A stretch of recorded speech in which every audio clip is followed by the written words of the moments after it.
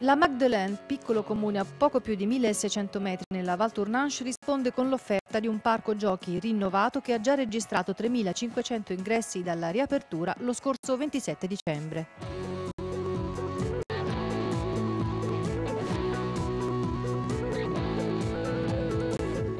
Comune proprietario degli impianti gestiti in collaborazione con una società privata ha investito 50.000 euro per ampliare l'area che ora, cresciuta rispetto a quella aperta nel 2002, si estende su circa 5.000 metri quadrati.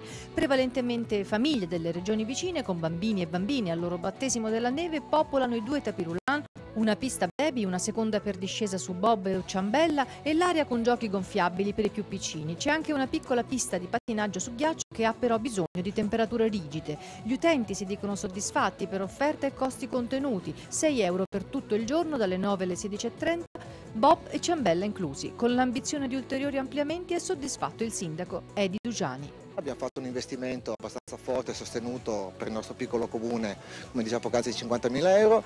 A livello di incassi abbiamo una previsione nell'arco dell'anno ovviamente di circa 40-45.000 euro ovviamente non andremo alla pari. Poi quello che eh, come amministrazione ovviamente noi eh, ci teniamo molto a tenere aperto perché abbiamo l'indotto, quindi abbiamo le attività, le seconde case, le attività commerciali.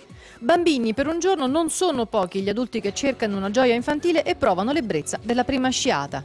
Matteo da Milano, primo giorno di sci. Sì, sì tutto bene, a parte qualche caduta. Ma come ci sentiamo? Un po' bambini cresciuti che apprezzano la neve per la prima volta? Sì, anche un po' imbranati, diciamo. Sì. Sì, sì.